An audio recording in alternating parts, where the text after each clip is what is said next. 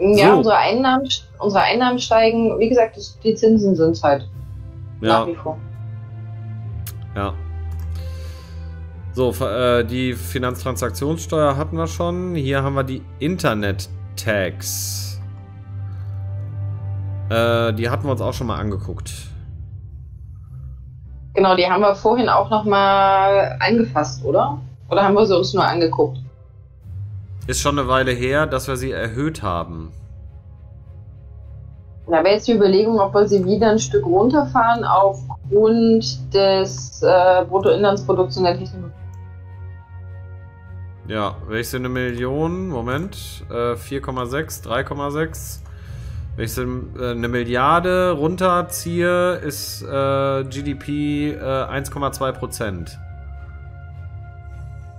Wir müssen halt eigentlich sparen. Und jetzt würden wir auf eine Milliarde verzichten, wenn wir das machen. Ja, finde ich nicht gut. Ich auch nicht. Dann gucken wir mal weiter. Plastic Bag Tax haben wir volles Met hoch, gibt uns äh, 100 Millionen.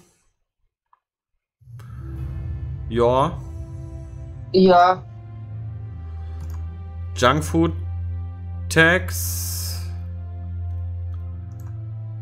Unser Health ist immer noch. Junkfood Tax könnten wir jetzt tatsächlich mal anfassen. Ach so, nee, aber das ist Einnahme. ja schon. Ja, genau, die ist schon auf Anschlag.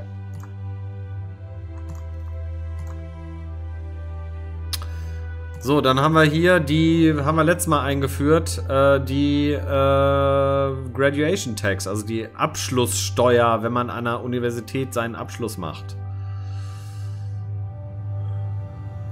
Ja. Und die haben, und da haben wir schon echt hart diskutiert, ob wir die überhaupt nehmen oder nicht. Ja, die würde ich jetzt auch so lassen. Ähm, dann haben wir die Grundsteuer.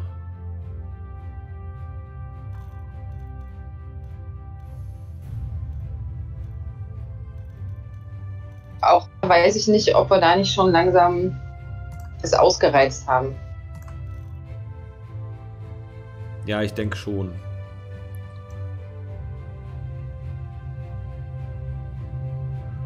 Umfragewerte sollten uns aber eigentlich nicht interessieren, würde ich fast sagen. Naja, dadurch, dass es eh unsere letzte Wahlperiode ist, ist es wahrscheinlich auch egal. Nachwuchs, die Sintflut. Wir können das auch noch, äh, das wäre mir jetzt zu hart. Eieiei, das tut mir jetzt gerade ein bisschen weh. In Bezug worauf? Auf die Auswirkungen auf die mittleren Einkommen, weil die sowieso schon so knapp sind. Aber ach, egal, wir brauchen das Geld. Äh, Ich, es, oh, 61% ist schon fett. Ja, ist es, aber würde ich auch machen. Na gut. Puh. Ähm, so, dann haben wir hier Public Tax Returns. Wir sind gut, was die Korruption angeht. Es bringt uns nichts, hier dran rumzuschrauben. Kostet uns auch nichts. Also es ist. Kann von mir aus gern so bleiben. Ja. Dann unsere Drogensteuer. Da sind wir schon ganz weit oben. Ich auch so lassen. Ja. Ist stabil im Gegensatz zur Tabaksteuer. Der Tobacco Use ist unten. Dann wäre mein Vorschlag, es ähnlich zu machen wie bei der Alkoholsteuer. Ähm, ein Stück runterzufahren von der Prozentzahl her, damit wir dort wenigstens ein bisschen Einnahmen haben. So? Oder weiter? Ne, ich würde vorsichtig Hm. sein damit, ne? Ja, wäre ich auch. Ich finde das auch gut. Wir wollen ja auch nicht, dass die Leute alle wieder anfangen zu rauchen. Ja. Vermögenssteuer, um Gottes Vermögenssteuer. Willen. Ja. Ah. Ähm, die Vermögenssteuer. Wir können hier auch noch ein Stück hochgehen. Also wir haben jetzt gerade in dem Sozialsystem echt krass gekappt. Und da müssen wir irgendwie gucken. Ich würde so, nur so einen Tuck nehmen. Ja. Ja. Tja, und dann sind wir hier bei der Villensteuer. War auch mal hochsetzen. Auch 400 Milliarden oder? Ja, bevor der Anstieg bei den äh, zur Ruhe gesetzten zu krass wird. Wobei die uns, glaube ich, echt mögen. Noch. Ja, können wir mal gerade gucken. Ja, tatsächlich.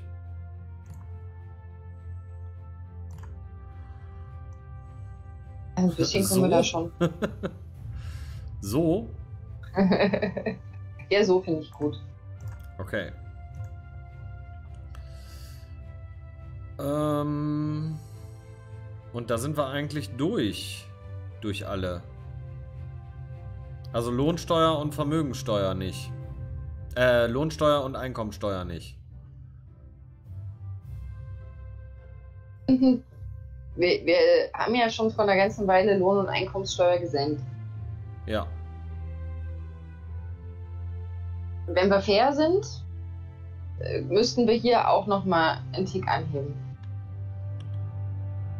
Lohnsteuer dann oder Einkommensteuer? Beides. Ähm, beides.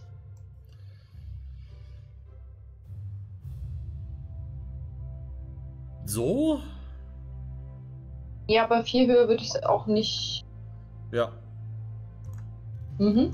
Und dann hier können wir nur noch absenken.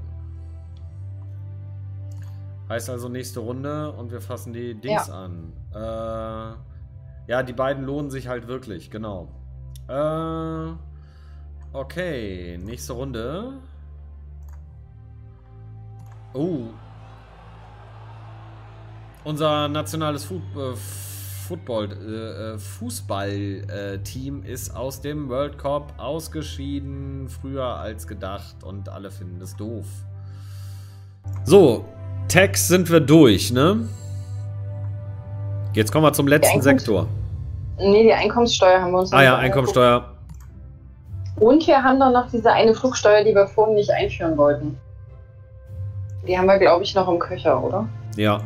Oder die wir abgeschafft haben. Ja, genau. Die äh, äh, Flugbenzinsteuer. So, Ja. wir sind Also bei bleibt- 46. Mhm. 5 Milliarden anheben.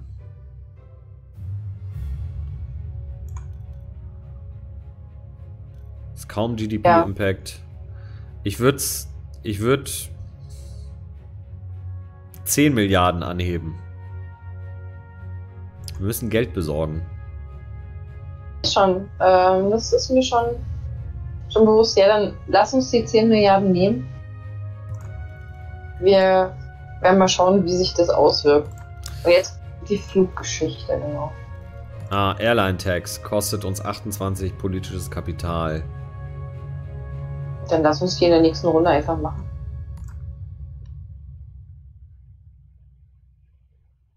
Dass wir gleich direkt in die nächste Runde gehen. Ja, da überschießen wir. Warte mal, äh, 50. Ja, überschießen wir nichts.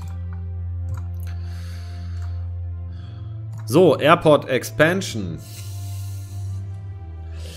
Ja, interessant. Sind wir direkt wieder beim Thema. Ähm, Mhm. ähm, es wird verlangt, dass äh, der Flughafen unseres Landes, äh, äh, einige Flughäfen unseres Landes ähm, größer werden. Ähm, einfach weil nicht genug Kapazitäten da sind, um die Flüge, die im Moment reinkommen, äh, abzufertigen. Und an dieser Stelle würde ich jetzt sagen, wir drehen gerade an den Steuern und das ist eine einfache, das ist die äh, einfache Art und Weise, da rauszukommen, Delay Decision. Definitiv. Allerdings, ähm, bei, wenn wir auf Allow, äh, Allow Expansion gehen, steht da, es hätte einen positiven, eine positive Auswirkung auf unser Bruttoinlandsprodukt. Ja, dann Grundsätzlich da- bin ich auch eher für Delay Decision. Ich weiß nur nicht, ob ähm, unser Finanzproblem schon so ist, dass wir uns ernsthaft mit äh, Flughafenerweiterungen auseinandersetzen. Dann würde ich sagen, dann erlauben wir das und führen jetzt eine Flugbenzinsteuer ein. Dann ist das äh, ausgeglichen und wir haben hoffentlich unterm Strich positive Effekte. Okay. Tourism und Air Travel geht hoch. Ja, dann, äh, das ist ja super, weil dann können wir eine Steuer einführen, die direkt Kapital schlägt aus äh, dem äh, gestiegenen Flugverkehr. So. Wo wollen wir die ansetzen? Ich sage jetzt mal hier, wir haben... Ist natürlich ein krasser Schlag auf den Tourismus. Ja, aber die um 12% oder so nach oben gegangen. Ja, Also damit könnte ich gut leben. Okay. 2 Milliarden mehr. So, dann gehen wir jetzt zu den Public Services. Da sind wir schon zu Teilen durch gewesen. Also, erstmal. Ähm, verpflichtende ähm, Markierung von Essen. Hat Mhm. einen negativen Impact aufs GDP, aber die positiven Sachen sind ganz gut. Ich würde es nicht wegen. Einsparungen hier äh, erniedrigen, aber ich würde vielleicht äh, so in diesem Bereich gucken, was es beim äh, Bruttoinlandsprodukt macht. Ja, 0 0,3. Aber Health ist der Impact auch nicht so groß. Aber wir sparen auch kaum was dabei. Äh, nein, nein, nein. Was macht hier... Da sind wir gerade auf dem absteigenden Ast, deswegen würde ich da vielleicht nicht rangehen. Das war das weg. Das kann ja mit auf die Wiedervorlageliste. Ja. Food Labeling. So, dann haben wir hier äh, die verpflichtenden äh, Fremdsprachenkurse, die lassen wir. Ja. Sagen, äh, Organspende, nee. Da haben wir drüber diskutiert und die lassen wir so. Würde Ja. ich sagen. Äh, das hier ist Term, Executive Term Limit. Da haben wir irgendwann auch mal wieder hochgestellt. Wir können das runtersetzen, aber äh, wir sind jetzt gerade auf dem Geldsparmodus. Hier sind wir beim Climate Change Adaption Fund. Da geben wir 20 aus. Den würde ich runtersetzen. Einfach weil wir an sich gerade schon gut aufgestellt sind. Ja, wäre ich dabei. So denn. Dann haben wir hier äh, Executive Term Length. Ah, da sind wir auf vier Jahre. Achso, ja, aber das, das ist ja. Ja. Vier Jahre. Äh, wir sind auf Geldsuche. Dann die Förderung Genau, der. wir, wir wollen nicht unsere Verfassung ändern, sondern wir wollen äh, Geld sparen. Genau. Äh, unsere Kulturförderung. Da würde ich nichts runternehmen. Nicht, auch nicht. Dann haben wir hier die Erwachsenenbildung. Education und Productivity für hm, eine Milliarde. Gucken wir, Wir können ein Stück mal. Das wäre okay. 100 Millionen? Ja. Ja. Okay, dann haben wir hier äh, die Abtreibungsgesetzgebung. Ich jetzt auch nicht. Also kosten nichts. Ja. Würde ich würde ich auch mich nicht drum kümmern. Dann haben wir hier äh, Cyberbullying Awareness Campaign.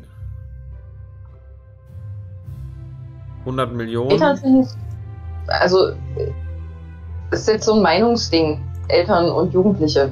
Dadurch, Ja. dass wir gerade viel tun, dass uns Leute nicht mögen, könnten wir für relativ wenig Geld wenigstens einen positiven Impact erhalten. Ja, denke ich auch. So, dann sind wir hier. Drug Treatment Scheme. Kostet uns gar nichts und hat einen Impact auf plus 4% Health. Würde Weil wir keine lassen. Drogenabhängigen haben. Ja. Dann Keep the Country Tidy Campaign für 150 Millionen. runtersetzen. Gucken wir mal aus Nicht Environment. abschaffen. Können wir abschaffen. Okay, also wir können sie auch abschaffen. Ich hätte sie nur runtergesetzt, aber wir können sie auch abschaffen. Ich würde sie eher abschaffen. Okay. Weil, weil wenn wir sie auf Minimum setzen, kostet sie immer noch 56 Millionen und hat null Impact auf unsere Umwelt. Wenn wir das machen wollen, dann können wir sie lieber ganz abschaffen und sparen nochmal 50. Ja. So. Ach, jetzt wird wieder alles reshuffled. Aber ich glaube, ich habe es noch auf dem Schirm. Dann haben wir hier äh, Selective Schooling. Kostet uns auch nicht, ist eher eine Politikausrichtung. Das lassen wir mal. Ähm, Healthy Eating Campaign. Könnten wir 170. nicht runtersetzen.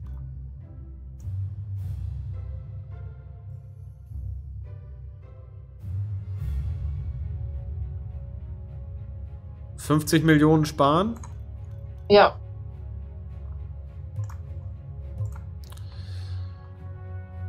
Dann Free Parenting Classes.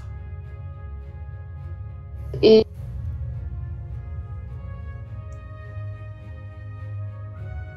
Runtersetzen. Ja, einfach mal 90 Millia Millionen sparen.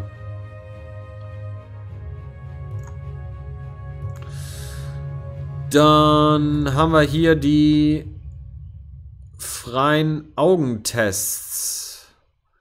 Die hatten wir mal hochgesetzt für den Health Benefit. Ähm, und für den Impact auf die Armut. Wenn wir da 20 Millionen sparen, ist das schon 0,5% Armut. Also da würde ich sagen, das lohnt sich nicht, das würde ich so lassen.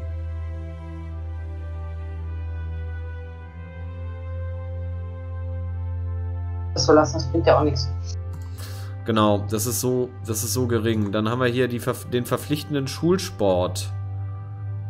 Die Jugend find's doof, der Impact auf Health ist ganz gut. Ich könnte mir auch vorstellen, den abzuschaffen. Ich könnte ich mir auch vorstellen. So. Äh, das, das hatten wir gerade. Das hier ist die Sprachkurse.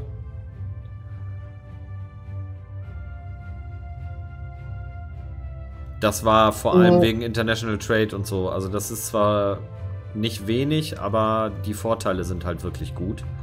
Und auch Da wäre höchst, da wäre höchstens interessant zu wissen, ob wir es einfach nur so ein Stück runterfahren, wie sich das auf die, sich das auswirkt. Weil damit könnte ich jetzt noch so leben in dem Bereich. Foreign Relations ist abgesagt. Ähm, ich würde so runterfahren, aber dann sparen wir 30 Millionen für 1% Foreign Relations und 0,7 International Trade. Oder Ja, das lohnt sich 0,6. irgendwie nicht. Nee. Äh, dann haben wir hier die äh, Lebensmittelstandardbehörde. Äh.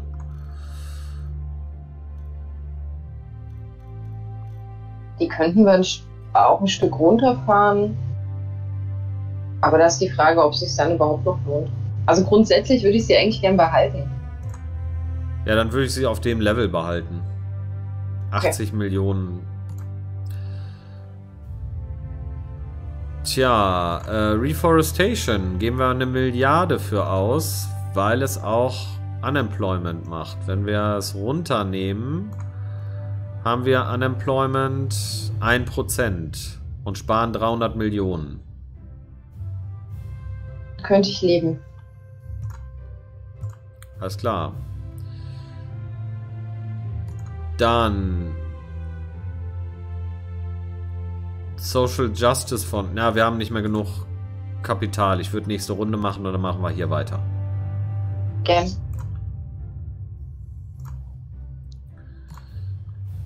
Ilona Schuster äh, möchte wieder Biofuel Subsidies. Nee, tut mir leid.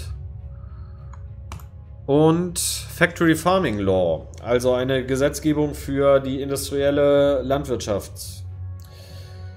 Ähm, es geht um äh, das äh, Tierwohl und ob wir äh, härtere Tierwohlverordnungen erlassen wollen.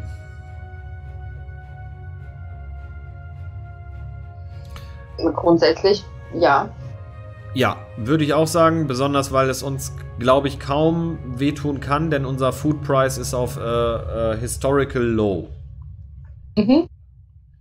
Deswegen können wir uns das leisten. Pharma finden es doof, Kapitalisten. Äh, ah, GDP. Schade. Ich hätte jetzt echt mit Food Price gerechnet, aber. Huh. Wir sind schon wieder kurz vor der Wahl. Also machen wir mal weiter. Social Justice Foundation könnte ich mir vorstellen, können wir abschaffen. Ich finde es eine tolle Einrichtung, aber fast 200 Millionen nur für einen Impact auf Liberalism. Es sind noch andere Bereiche, auf die es sich auswirkt. Würde ich nochmal anders drüber nachdenken, aber dadurch, dass das der einzige Bereich ist, bin ich da auch für Cancel Policy. So.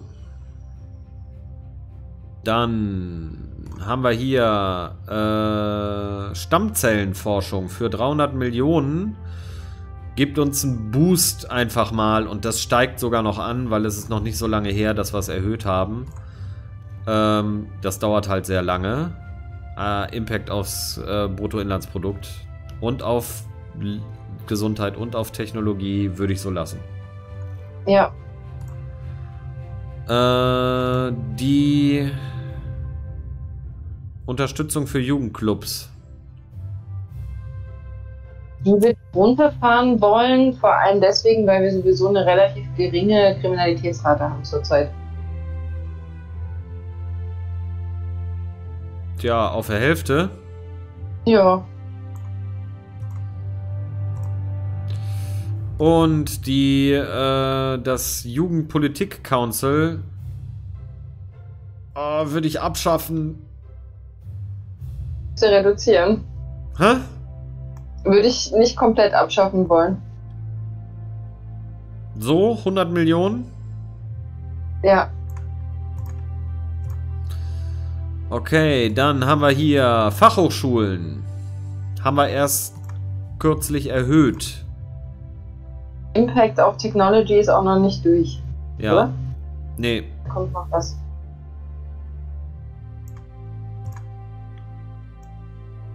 Könnten wir auf dem jetzigen Stand lassen. Für, ja, 100 Millionen. Hm. Würde ich lassen. Ich jetzt auch lassen. Dann haben wir Stamp Out Racism Week. Also Racial Tension sind wir auf einem Low. Kostet uns 150 Millionen, könnten wir auch abschaffen, weil wir haben kein Rassismusproblem. Richtig. Würde ich auch machen. So. Bibliotheken. Ein Stück runterfahren wollen.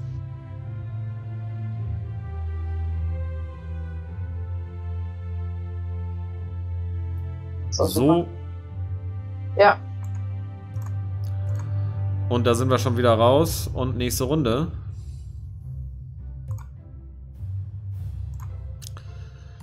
So, ein Minister. Transportminister ist Free School Meals. Die haben wir abgeschafft. Abgeschafft, nee. weil. genau. Machen wir nicht. Machen wir nicht. Oh. Schade. Ah. Okay, der Tourismus nimmt ab und die Meinung bei jedem nimmt ab. Hm. Tja. Äh, so. Das haben wir reduziert. Die Ausgaben für den öffentlich-rechtlichen Rundfunk.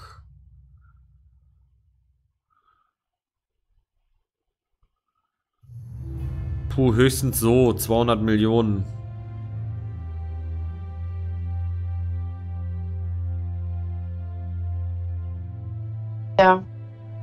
Ich auch nicht viel mehr kürzen.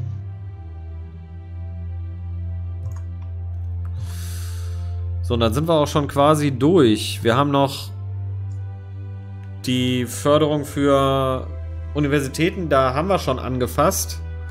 Vor nicht allzu langer Zeit und das runtergesetzt.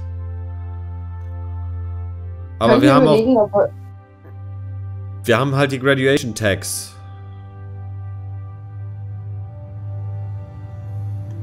Also das kann man halt nur Genau, so. aber hier noch. Ja, so ein Stück, nicht viel. Man kann nur in Schritten. Hm. Ich könnte damit leben, weil wir gerade echt überall Geld sparen, hier auch das ein Stück runterzusetzen. Okay. Dann Schulsystem.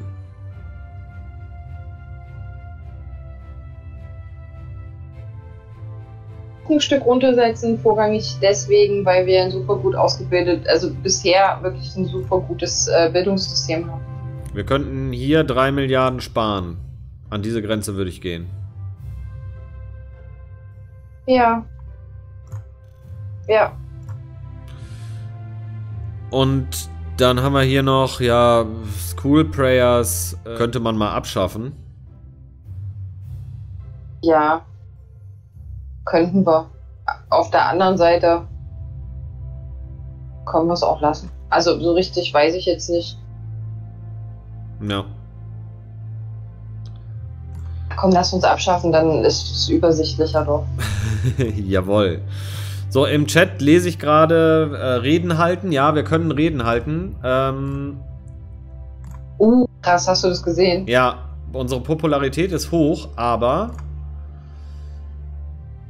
wir verlieren fanatische Supporter und äh, Aktivisten und Mitglieder in unserer Partei gehen runter. Die anderen Parteien sind quasi zerstört. Aber das wird wahrscheinlich, da haben wir lange nicht drauf geguckt, das wird wahrscheinlich jetzt dazu führen, dass wir eine große Anzahl Nichtwähler haben. Ich Jetzt nichts. Wir, dadurch, dass wir gerade äh, wirklich überall einsparen und es keine Bevölkerungsgruppe gibt, die davon nicht betroffen ist, ähm, müssen wir das jetzt leider Gottes aushalten. Ja, und ich würde jetzt auch keine Reden halten wegen unserer hohen Popularität. Wir können die, äh, das politische Kapital echt. Na gut, wir sind ja jetzt auch quasi durch, durch alles. Und jetzt sind wir wieder bei Law and Order. Genau. Ach nee, Law and Order war der letzte, ne? Stimmt. Obwohl, nee, mit Law and Order haben wir angefangen. Aber da haben wir, haben wir da alles durchgeguckt? Nee, ich glaube nicht. So, Community Ich glaube, ich Policing. würde würd ich lassen, weil es einen hohen Effekt hat für nicht so viel Geld. Ja. Dann die Liebe, also Legalized Sex Work, würde ich auch so hoch lassen. Ja. Das hat uns geholfen bei der organisierten Kriminalität. Dann hier die elektronische Fußfessel. Wir haben Hat auch kein. geholfen für sehr wenig. Ja. Was haben wir hier? Proportional Fines. Ja. Die können wir auch hochsetzen. Wir haben ja jetzt die öffentlichen Steuererklärungen. Insofern ist es eh abhängig vom jeweiligen Einkommen. Ja, gibt uns ein paar Millionchen, aber. Jedes Millionchen zählt. So, jetzt sind wir auch schon Genau. wieder nächste Runde. Wir sind auch inzwischen bei 30 Milliarden mehr, die wir jedes Mal einnehmen im Vergleich zu vor drei Runden. Ah, das ist schön. So, jetzt haben wir äh, äh, genmodifiziertes Essen. Ähm, da ist es jetzt auch wieder, äh, wir, wir hatten das jetzt schon mehrfach und hier haben wir ähm, einige äh, große Agrarkonzerne sind interessiert daran und an der Stelle muss ich dann schon sagen, direkt ban the sale of GM Food.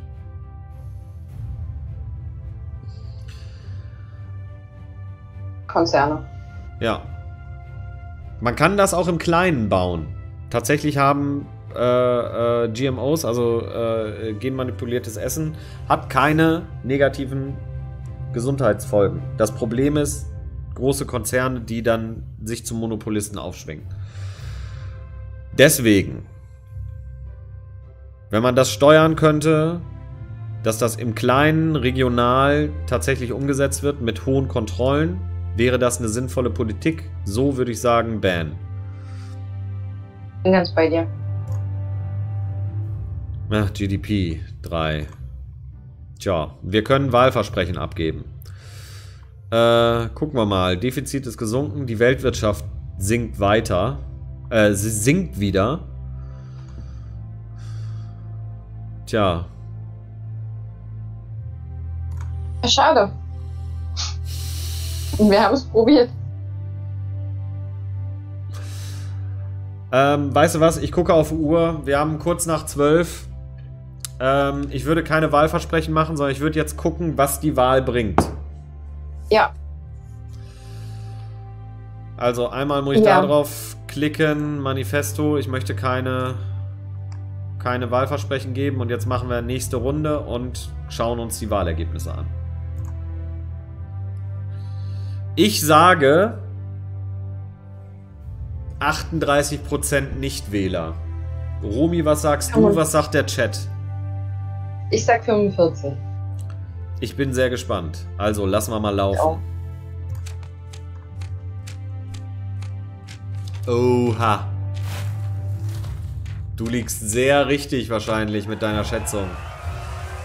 Romi, 45% Nichtwähler. Holla. Auf den Punkt. Und die Property Rights Party hat ein paar Stimmen eingefahren. Unseren Grundsteuern und was wir da nicht alles erhoben haben auf ähm, Property. Ja.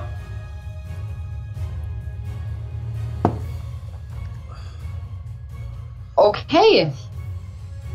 Ich würde jetzt total gern wissen, ob wenn wir, äh, wenn wir jetzt mit dem neuen Term anfangen, ob es vielleicht nochmal die irgendwer auf die äh, Zinsen guckt. Ja, ich würde jetzt hier die beiden roten einmal austauschen. Einfach nach Ja. unserem Standardprinzip Popularity und wer ist geeignet für das Ministerium. Ähm, so, Loyalty. Und da hätten wir Christel Jansen. Gute Fokusgruppen bringt 1,6. Fast noch bessere. Hm. dann haben wir es uns eh mit so ziemlich allen Gruppen verscherzt. Noch am wenigsten mit den ethnischen Minderheiten. Das stimmt. Dann nehme ich die. Mhm. Ja. Und Transport Loyalty. Oh. Umweltschützer und Liberale. Ja, das passt.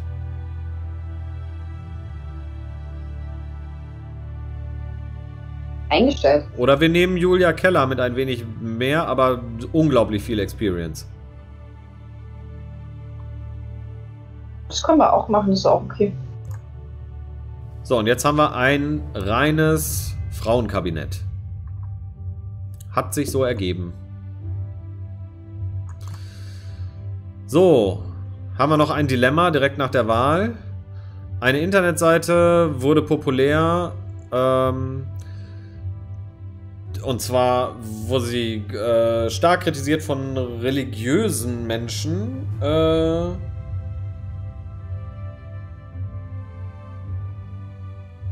die religiösen Gemeinschaften und äh, äh, Führungspersönlichkeiten haben äh, Ketzerei geschrien und verlangen, dass die Seite äh, runtergenommen wird.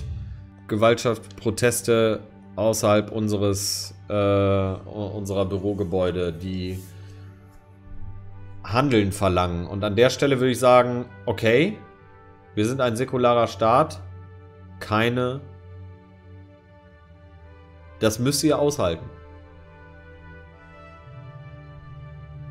Das Einzige, was wir halt nicht wissen, ist es, ob es nur kritisch ist oder ob es schon an, an der Grenze des Erlaubten oder drüber hinaus. Wir wissen schon wieder viel zu wenig. Ja.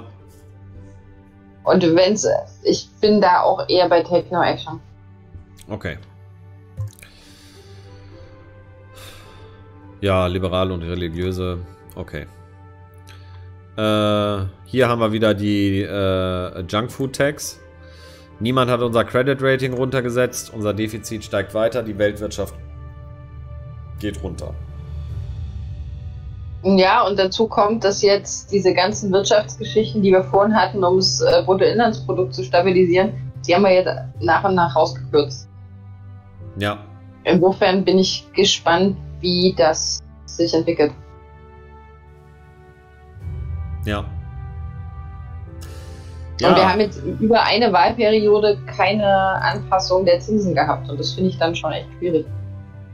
Total. Ja. Wir sind im Moment hier. Die Schulden steigen immer weiter. Wir haben eine Schuld von 16,3 Billionen Euro. Unser, unsere, unser Zinssatz ist der absolute Wahnsinn. Wir haben es geschafft, über viele Jahre unser Bruttoinlandsprodukt konstant zu halten, obwohl die Weltwirtschaft abkrepelte. Aber leider ist das Bruttoinlandsprodukt auch nicht hochgegangen, als die Weltwirtschaft hochkam. Und jetzt ist sie gerade wieder am Sinken. Und hier unten sind unsere Einnahmen und Ausgaben. Sehr, sehr weit entfernt von dem, was wir als Schuld haben. Unglaublich. Und im Moment geben wir für Zinsen fast 70% aus. Und unser Einkommen besteht von, zu 62% aus neuen Schulden. Also, puh. Und das bei den hohen Zinsen. Ja. Genau. Und wir haben hier überall Kürzungen durchgeführt und so weiter und so fort. Und äh, wir haben auch debattiert darüber, machen wir das jetzt weiter? Ähm, und naja, wir sind nicht wirklich zu einem Ergebnis gekommen, oder? Also wollen wir das bis zum Ende weiterführen? Es war schon auch schmerzhaft die letzten Wochen. Ja. Also es immer wieder zu probieren und immer wieder zu hoffen, dass vielleicht irgendwann doch die Zinsrate angepasst wird und es passierte einfach nicht. Ja, also unsere, unsere Situation ist, ähm, äh, ist schlimm. Wir haben super viel Ausgaben eingespart, aber wir können halt die Zinsen einfach nicht einsparen. Die werden uns auffressen. Und dementsprechend habe ich mal ein kleines Experiment durchgeführt. Und ähm, genau. Dieses Experiment würde ich euch gerne jetzt mal zeigen. Also ich habe einfach mal einen Zeitraffer gemacht über die nächsten zwei Wahlperioden, was passiert mit uns. Auch wenn wir, ich habe jetzt nicht Einsparungen gemacht, aber ich habe jetzt einfach nur mal die Entwicklung, weil wir haben super viel eingespart. Wir können vielleicht noch 30, 40 Milliarden irgendwo einsparen oder mehr Einnahmen generieren. Aber äh, wir sprechen über Milliarden und hier oben sind wir im, äh, ein, äh, in Billionen, also drei Größenordnungen mehr. Und äh, ich würde mal den ähm, Zeitraffer mal kurz abfahren, äh, den ich gemacht habe. Also einfach immer nur die Entwicklung. So, das ist unsere Ausgangssituation. Und jetzt schreitet das so langsam vor über die Jahre. Die Weltwirtschaft geht nach unten. Unsere Schulden steigen einfach immer weiter. Ähm, Unsere Einnahmen gehen, nähern sich nie unseren Ausgaben an, einfach weil wir so viel Geld für Zinsen ausgeben. Und jetzt gleich kommen wir zu einem Punkt, wo es die nächste Wahl gibt. Und da sieht man, dass die eine, The Democracy Party, ähm, schon ja, also äh, im Prinzip, ähm, ich, ma ich mache das mal kurz auf Pause und gehe nochmal zurück. Hier, ähm, schon wieder ein bisschen hochgekommen ist mit 9%. Aber wir haben trotzdem immer noch die Mehrheit erreicht. Obwohl wir es nicht hinkriegen, den, den, den Haushalt in irgendeiner Form zu sanieren. Es gibt auch ein Update, wie man sieht im Spiel. Bei den Nichtwählern wird, wird so ein bisschen auch Parteizugehörigkeit gezeigt. Aber das Video ist noch längst nicht am Ende. Ich habe weitergemacht. Die nächste Wahlperiode. Und dann gucken wir es uns mal an, wie es weitergeht. So, die Weltwirtschaft steigt wieder. Unser Bruttoinlandsprodukt steigt dementsprechend auch langsam wieder, aber das tut so gut wie nichts mit unseren Einnahmen. Wir können niemals diese unglaubliche, ähm, die, diese unglaubliche Schuld, die wir aufgehäuft haben, auch nur ansatzweise in irgendeiner Form äh, äh, Herr werden. Hier sieht man's. Ähm, wir sind mittlerweile über drei Viertel äh, Einnahmen und äh, vier Fünftel fast sind äh, unsere Ausgaben sind nur Zinszahlungen. Und jetzt kommen wir zur nächsten Wahl. Und ich habe in diesen Runden nichts gemacht. Also ich habe einfach immer nur weitergeklickt. Und die haben wir auch gewonnen mit 78%. Die andere Partei ist auf 12% hochgekommen. Also ja, wir können halt viel diskutieren, aber wir sind äh, an einem Maximalwert des Spiels angekommen. Äh, ich mach mal gerade auf Pause. Wir sind ähm, irgendwo äh, an einem Extrempunkt von dem Spiel angekommen, wo wir kaum noch was erreichen können durch unsere Aktionen. Es geht einfach nur weiter. Und mittlerweile hat der Entwickler Cliff ähm, Cliff Harris auch ein bisschen was dran geändert. Nicht nur diese Darstellung, die man jetzt hier sieht, dass die Nichtwähler etwas aufgebrochen sind und man auch auf äh, Wahlanalysen klicken kann. Das heißt also, wer hat wen gewählt, dass man das auf die Fokusgruppen, die es gibt im Spiel, beziehen kann. Ähm, das hat er geändert. Das heißt, es gibt total viele Änderungen, die diese Wahl, was wir auch immer gesagt haben, irgendwie, wo kommen die Nichtwähler her? Ähm, dass man das tatsächlich ähm, bei der Wahl auch noch mal ein bisschen besser verstehen kann. Und, aber natürlich würde es viel mehr Sinn machen, wenn man quasi ein neues Spiel anfängt mit den Verbesserungen, die jetzt mhm. drin sind. Ne? Also äh, es, Cliff hört auf Feedback und ich habe auch das, was Romy immer gesagt hat mit den äh, mit dem Credit Rating und so auch weitergegeben. Aber ähm, er meinte ja, er hat es auf der Liste, aber ähm, Natürlich ist das, äh, äh, hat er sehr, sehr viel auf der Liste. Einiges waren Bugfixes und so, aber ähm, ja, das, das Spiel ist in der Early Access, also Beta, und wird fortwährend verbessert, wie man hier auch ganz eindrücklich sehen kann. Ja, aber das Ende vom Lied ist, wir können, wir können hier keinen Blumentopf mehr gewinnen. Also Defizit 300 360 Milliarden Euro sind das. Wir werden da in diesem Spielstand nicht wieder rauskommen. Das heißt, an dieser Stelle machen wir einen Strich unter den ersten Versuch Deutschland auf schwer. Im Prinzip sind wir in der Alpha-Version des Spiels gestartet, äh, mit in die Beta-Version rein. Auf YouTube sind wir mittlerweile bei Folge äh, 33 oder 34. Ich weiß nicht genau, wo ich das reinschneide, aber das sind, und jede Folge ist mindestens eine halbe Stunde lang. Also, äh, das ist schon echt viel, was wir da ähm, äh, rausgeballert haben. Und ich glaube, wir sind hier in einer Sackgasse, wo wir äh, dem Spiel keinen Gefallen tun und uns auch nicht. Weil wir können total viele schlaue Sachen sagen, aber das, was uns kaputt macht, ist halt der hier. Ja. Unsere Zinsen. 70 Prozent im Moment. Ja. Das heißt, wir haben entschieden, wir machen hier jetzt erstmal eine Pause.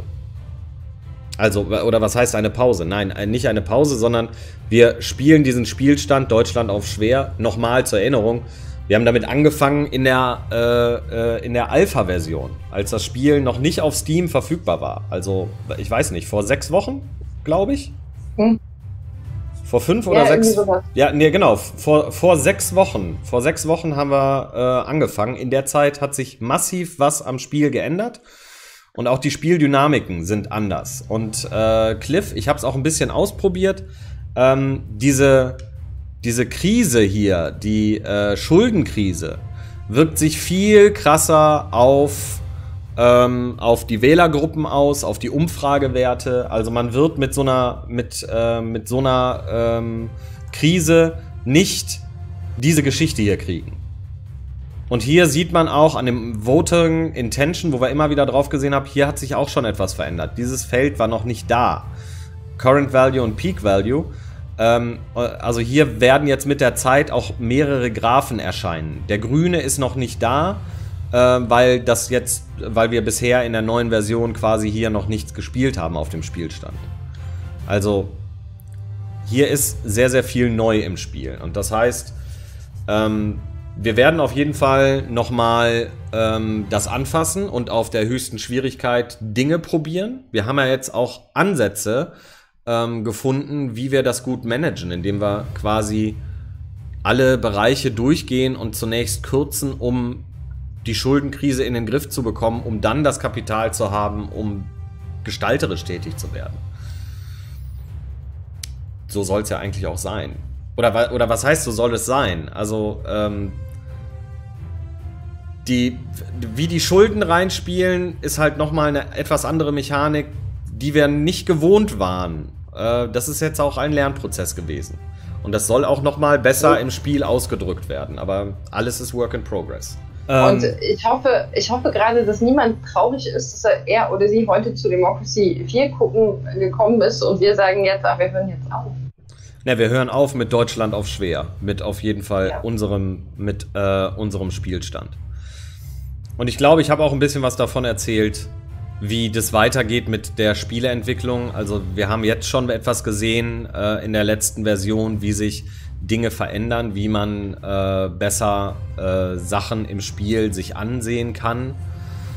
Ähm, also wie man tatsächlich besser versteht, was gerade vorgeht, auch mit diesen Wahlentscheidungen. Da hat sich einiges getan. Und äh, äh, Cliff ist auch super dankbar über unser Feedback, was wir gegeben haben. Also immer, wenn ich das erwähnt habe in den Streams, ich werde das Cliff schreiben. Habe ich das tatsächlich auch getan?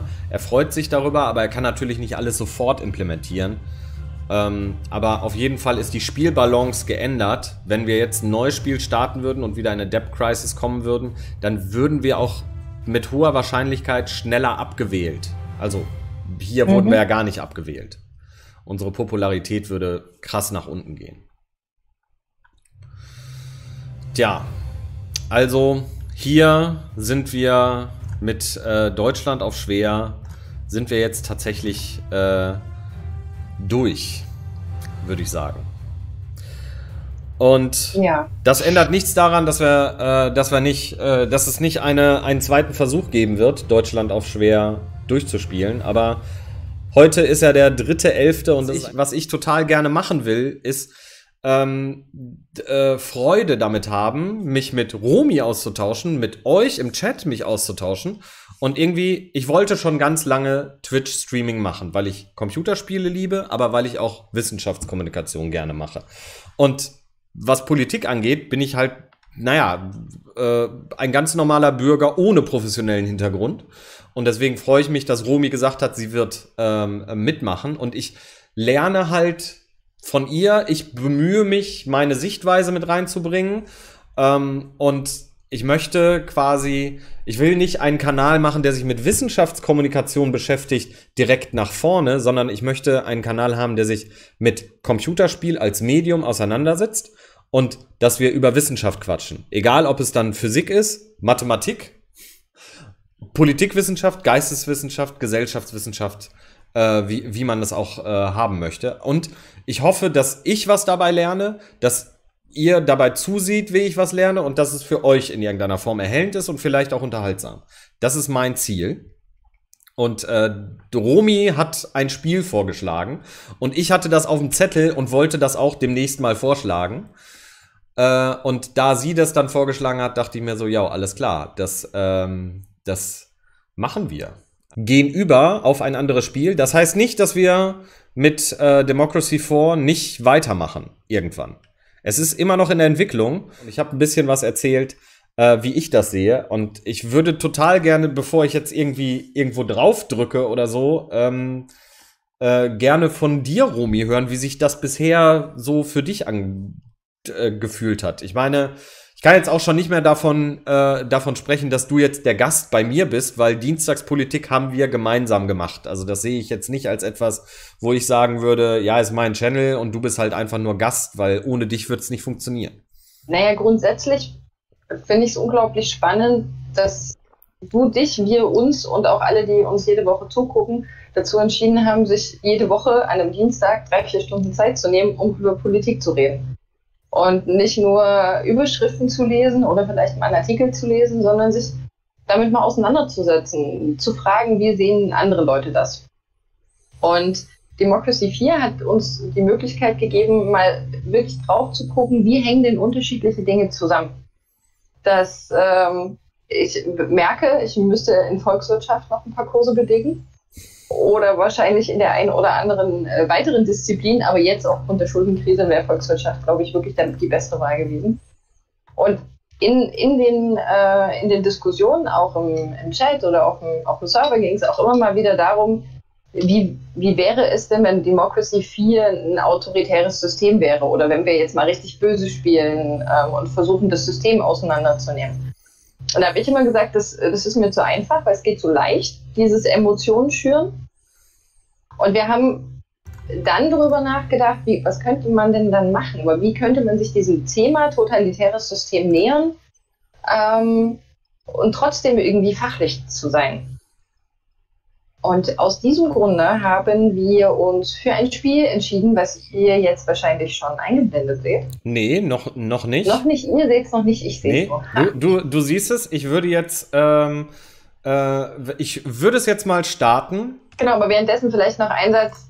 Die große Herausforderung, gerade wenn man in so einem autoritären System ist, ist mit seinen eigenen Moralvorstellungen klarzukommen mit ethischen Anforderungen, die man vielleicht selber hat oder die man von seinen Eltern, von seiner Familie, von seinen Freunden bekommen hat und trotzdem irgendwie funktionieren muss. Also geht es um Handlungsspielräume, darum, Interessen auszugleichen.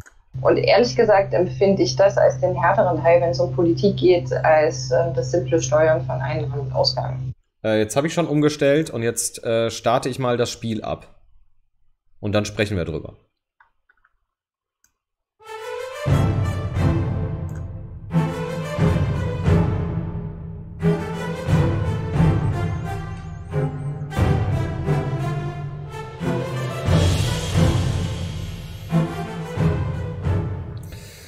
So, meine lieben Menschen, wir spielen For the People.